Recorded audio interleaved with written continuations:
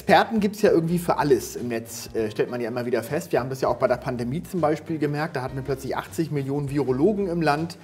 Ähnlich gilt das auch für die Ökonomie, denn auch im Bereich Wirtschaft gibt es ja viele, viele Menschen, die meinen, sie wüssten alles besser und wüssten genau, wie das alles zusammenhängt. Dabei ist das ja ein sehr kompliziertes Thema.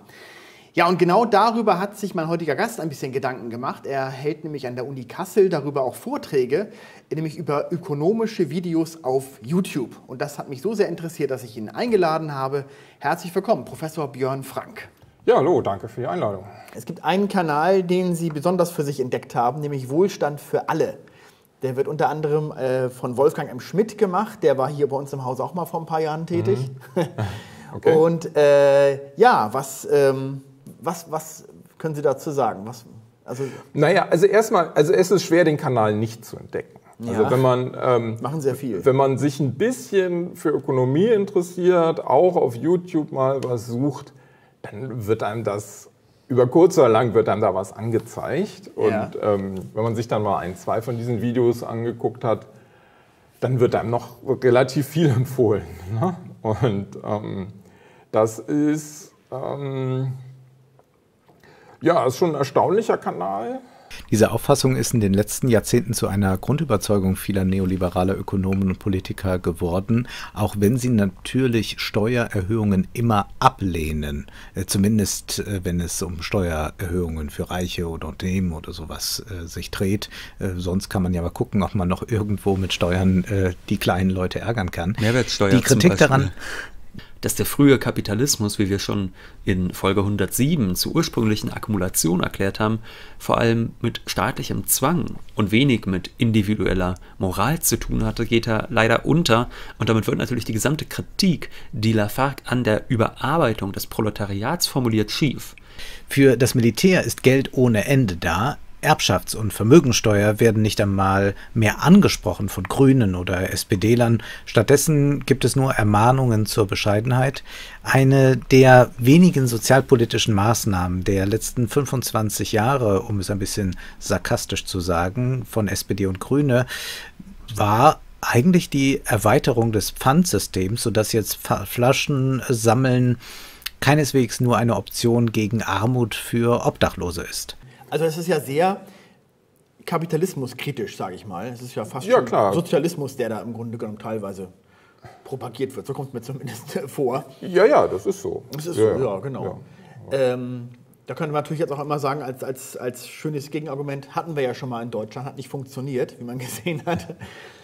Ja, ähm, Stimmt, wobei ähm, man sich, also die, die, die, Standardverteidigung gegen dieses Argument ist natürlich, dass es in der DDR, das war nicht der wahre Sozialismus. Ja, ja, ja. Und genau. halt, die haben das halt falsch gemacht und man könnte, man könnte das besser machen. Ja.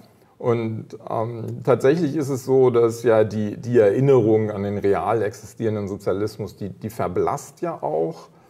Und mh, hm, das führt dazu, dass man viel mehr als vor 30 Jahren dann eben auch Gedanken machen muss über da, darüber, was kann funktionieren, was, was macht ein funktionierendes Wirtschaftssystem aus, wie kann man die Mängel, die verschiedene Wirtschaftssysteme haben, beheben, kann man die beheben, mildern, mhm. ja? ähm, solche Dinge. Also zum Beispiel laissez-faire Marktwirtschaft versus soziale Marktwirtschaft wo man sagt, okay, wenn wir alles dem Markt überlassen ja, und nicht, nicht eingreifen mit Sozialpolitik, dann wird was schieflaufen.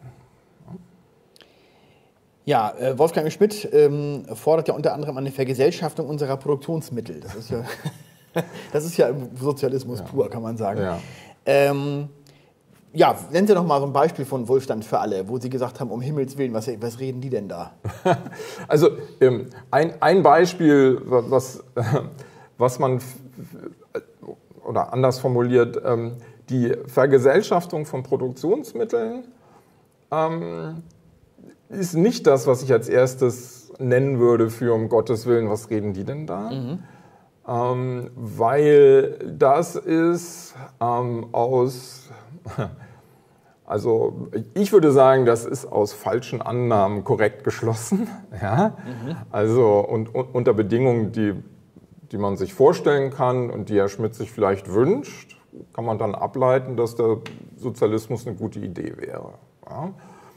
So, man, äh, aber was mich vielleicht noch ein bisschen mehr stört, ist, wenn, wenn nicht korrekt geschlossen wird. Ja? Ja. Also, ähm, wenn, wenn, wenn, die Schlussfolgerung sich einfach nicht aus den Prämissen ergibt. Ne? Ja, machen wir mal da, konkret. Da, da gab es ein, ein, schönes Beispiel, ähm, wo, ähm, wo die beiden sich kritisch mit der sozialen Marktwirtschaft auseinandergesetzt haben. Ja. Das ist die soziale Marktwirtschaft ist natürlich ein bisschen ein Problem für, für Leute, die, ähm, die den Kapitalismus kritisieren, weil ähm, man muss natürlich dann auch Argumente liefern, warum der Kapitalismus nicht repariert werden kann.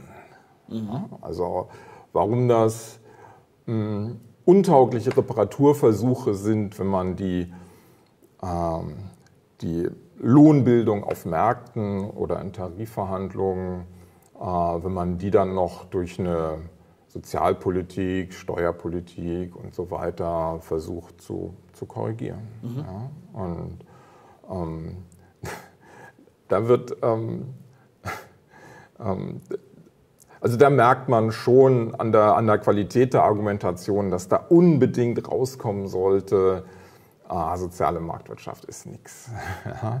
ohne, ohne zu sehr in die Details von, ähm, von äh, Steuerpolitik oder, oder sowas gehen zu müssen. Ja. Sagen wir zum Beispiel, zwei Unternehmen konkurrieren um die Gunst der Konsumenten und sie wollen deshalb immer billiger als andere produzieren. Dann findet ja so eine Art gegenseitiger Unterbietungswettbewerb statt, der auch den Konsumenten natürlich hilft, aber die Profite der Unternehmer schmälert. Also könnte hier eine heimliche Preisabsprache stattfinden, dass die Unternehmer zum Beispiel sagen, unter diesem Preis verkaufen wir jetzt beide keine Schuhe mehr und dann bilden die Unternehmer ein Kartell zu Lasten der Konsumenten. Besonders wichtig für die Ordoliberalen war die Stadt Freiburg. An der dortigen Universität wurde die sogenannte Freiburger Schule gegründet, zu der etwa der bereits erwähnte Walter Eucken gehörte und auch Franz Böhm. Böhm brachte die Relevanz des Wettbewerbs ganz drastisch auf den Punkt. Er schrieb, es sei Zitat Pflicht aller Beteiligten, sich dem Wettbewerb zu unterziehen. Ja, aber mal ganz konkret nochmal. Also was, was ist jetzt der, der, der, also wo ist die falsche Argumentation? Können Sie das, damit man mal versteht, was Ihre Kritik ist? Das jetzt war jetzt ja, allgemein formuliert ähm, erstmal. Ja, also ähm, die, ähm, in, in, interessanterweise, ähm, ähm, da, da, da, sieht man auch durchaus eine Qualität von ähm, Wohlstand für alle. die wissen besser als viele andere, die den Neoliberalismus kritisieren, wo, wo der Begriff eigentlich herkommt. Also das war ja mal äh, eine Gegenposition zum Laissez-faire-Liberalismus. Mhm. Das ist was nochmal? Laissez-faire-Liberalismus, das ist der, der berühmte Nachtwächterstaat. Also wir, wir sorgen man gerade noch für, ähm, für, für Landesverteidigung und für die, ähm, für die Durchsetzung von Eigentumsrechten. Ja. ja. also man nicht einfach was klauen kann, aber alles andere äh, regeln die Märkte dann schon. Ah ja, okay. Ja, so, das also ist, auch das Polizei der, und solche Sachen alles, das ist... Ja, ja, Polizei kann noch eine staatliche Aufgabe sein, ja, okay, aber, aber, aber äh, auch nicht, nicht viel mehr. Ne? Ja, also, okay. und, ähm, dagegen wollten sich die die sich neoliberal genannt haben, zunächst, mm, dagegen wollten die sich abgrenzen. Die haben gesagt, wir brauchen, wir brauchen einen starken Staat, der was gegen zu mächtige Unternehmen tut ähm, und, und, und, solche Dinge. Mhm. mit unterschiedlichen Ausprägungen. Mm, und das ist jetzt so ein, so ein Kampfbegriff geworden, ähm, der also wo ich auch mal wissen möchte, die vielen Leute, die immer neoliberal sagen, was, was denken die eigentlich, worauf sich dieses Neo bezieht? Ja, das, ähm, aber ich glaube, das ist einfach so ein bisschen so ein Wohlfühlbegriff. Also alle, alle Dinge, die, von denen man das Gefühl hat, die laufen schlecht, die gefallen einem nicht, die mhm. packt man in so einen Sack, da steht neoliberal drauf und dann dann haut man den so ein bisschen. Mhm. Und äh, Wohlstand für alle ähm, hatte mal in der Folge, also wurde ganz deutlich, nee, also die kennen die Geschichte dieses Begriffes, die wissen, was diejenigen, die den Begriff mal erfunden haben, damit eigentlich gemeint haben. Und dann fallen sie aber doch in dieses Muster zu sagen, boah, irgendwas ist neoliberal, also ist es schlecht. Ja. Mhm. Ähm, und ähm, ja, ähm, also das ist so eine, so, so eine, Kette. Ich würde hoffen, wir, wir, Sie können das vielleicht auch noch einspielen, den Schnipsel, ähm, wo die sich ähm, beschäftigen mit einem der frühen äh, Neoliberalen, Alexander Rüstow. Ja. Äh, und dann ein, ein, ein ganz empörtes, ähm, äh, empört ein Zitat von ihm vorlesen, mhm. wo es um den um den Interessentenpöbel äh, geht, gegen den der Staat sich äh, wehren müsste. Und das ist dieser Interessentenpöbel, das ist bei den Neoliberalen sind das in allererster Linie die Unternehmen.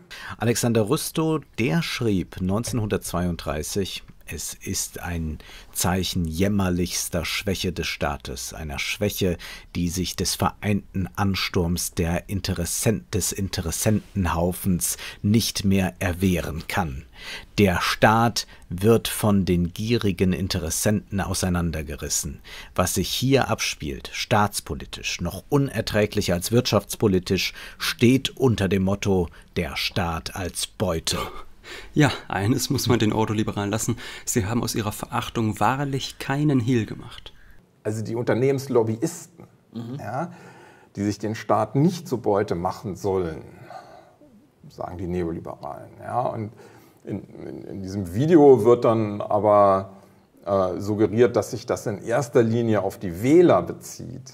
Okay. Und ähm, das ist ähm, das ist zumindest eine sehr einseitige Interpretation, dass man, ähm, dass man die Sichtweise der Neoliberalen, der Staat darf sich nicht zur Beute der Unternehmen machen, ähm, dass man das da völlig ausblendet.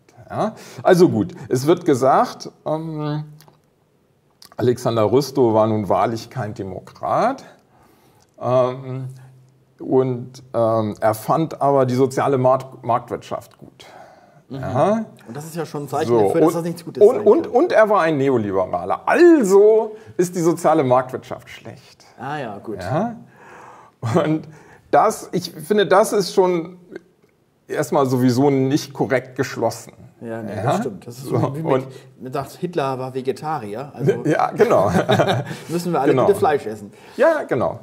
Und, ähm, und ja, Apropos Hitler, dann steht ja im Credibility Bookshelf ne, hinter, also damals, inzwischen haben sie es geändert, im Credibility Bookshelf hinter Ole Nymon stand dann ja der Ring, äh, das Nibelung, ja, ja so Wagner, ja. ja. und natürlich Hitlers Lieblingskomponist. Äh, genau und auch ein, ein, ein übler Antisemit, ja, also kein, kein typischer, aber aber doch ein übler und ähm, also also, und gegen, gegen, genau diese Schlussfolgerung, ne? also der war Antisemit, also ist die Musik furchtbar, würde, würde Herr Nymon sich bestimmt und auch mit Recht wehren. Mhm. Ja, man muss schon Autor und Werk trennen. Ja. ja.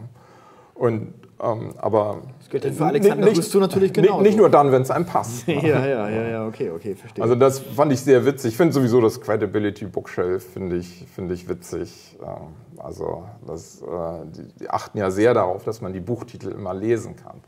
ja. das, äh, viele haben ja. Also, also da werden die, auch die Bücher schon so in Szene gesetzt, dass das die, die richtigen ja, sind. Ja, ja, ja, ja, ja, genau. Und also, also ich, ich meine, viele Leute achten darauf, dass sie in Videokonferenzen ein schönes Bücherregal im Hintergrund haben. Ja, ja. Aber ist doch meistens so weit weg, dass das Signal ist, hier, ich habe viele Bücher und ein schönes Bücherregal. So, ja, und also ich bin intelligent, ich ja, habe die alle genau. gelesen. Genau. Ja, genau. Und die gehen halt noch so einen Schritt weiter und sagen, hier, guck mal, was für Bücher. Ne? Hm. Ja, Gott.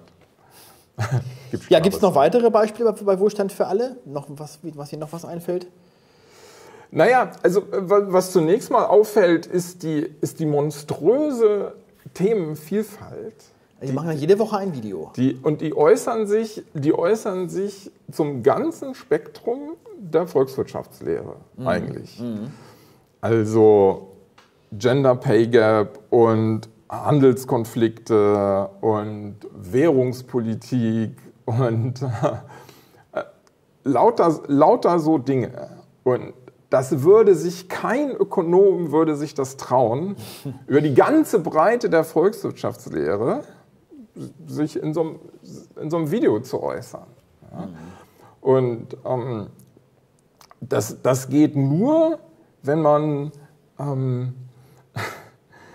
also wenn man so, so, eine ganz feste ideologische Basis hat, mit der man dann mh, mm, viel einfach erklären kann. Also dass Ressourcenknappheiten lösbar sind, wenn, wenn man nur was daran machen würde, dass, wie die das dann immer formulieren, die Unternehmer sich den Mehrwert aneignen. Das, das ist so ein, das ist so ein Hammer, mit dem auf, ja. auf alles draufgehauen Einfach wird. nur gerecht verteilen, ja. dann wird das schon. Ja, so, genau. So die Aussage, das, ist halt, das ist halt schon, das ist halt ein, ein, ein Ticken zu, das ist halt ein Ticken zu einfach. Ne? Aber, ja. aber naja, mit so einem mit so einem Hintergrund, also mit dem, mit dem Ideal einer sozialistischen Wirtschaft, gehen die dann so auf allerlei los. Also ähm, gibt es Fachkräftemangel. Ja, also man kann, man, kann das, man kann das bezweifeln. Ja? Mhm. Also, es, also ich weiß auch nicht, was das genau sein soll, Fachkräftemangel. Die sind einfach teuer. Die, weil es nicht so viele gibt, werden die halt teuer. Ja, ja. Aber, aber es ist ja nicht so, dass es jetzt einen objektiven Maßstab gibt, wie viele Fachkräfte sollte es genau geben. Ja, genau wie es keinen objektiven Maßstab gibt, wie viele YouTube-Kanäle sollte es geben, wie, viele, wie viel Bier sollte es geben. Mhm. Da, da, gibt es ja alles am Markt. Ne? So, und, ähm, aber die sagen dann, naja, also im Kapitalismus, da ähm, äh, arbeiten ja auch viele nicht produktiv, so im äh, Marketing zum Beispiel. Und wenn die was anderes machen würden, dann hätte man ja keinen Fachkräftemangel mehr. Ne? So, das find, also, naja, das, also das ist, ich finde, das ist eine witzige Provokation. Beruf aber, heißt ja deshalb, weil es die, alles eine Berufung ist. ne? ja, ja, ja, ja, genau. Also, ähm, und also, dass man, naja, also dass das jetzt das Argument dagegen sein soll, dass es einen Fachkräftemangel gibt, ne, dass, ja, verschiedene Leute könnten ja auch was anderes arbeiten, ähm, das, ähm, das, überzeugt mich, das überzeugt mich nicht so. Die Mediatheke, jeden Samstag neu auf Massengeschmack TV und es gibt dort noch viele weitere Beiträge, die gar nicht auf YouTube erscheinen. Also es lohnt sich, ein Abo bei uns abzuschließen. Jetzt einfach mal 14 Tage kostenlos testen.